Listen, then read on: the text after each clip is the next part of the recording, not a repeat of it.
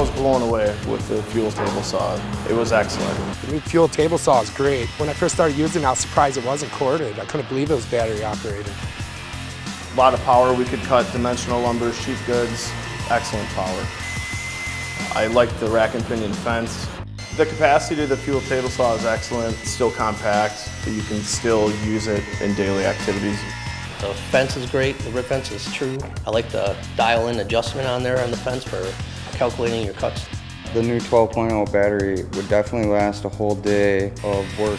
We were able to rip dimensional goods and we had plenty of run time throughout the day. The new fuel table saw is definitely a job site tool to have. The mobility, the long-lasting battery, it's all there in one package. Using the fuel table saw, I don't see a reason to even carry our corded table saw in the trailer anymore. This will meet all of our expectations in daily use.